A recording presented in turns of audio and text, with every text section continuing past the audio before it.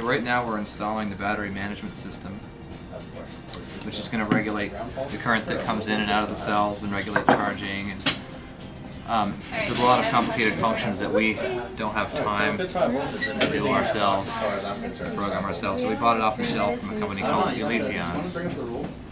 And it's going to lay flat against the side of the cells like this. I won't touch it to there yet because I think that like that.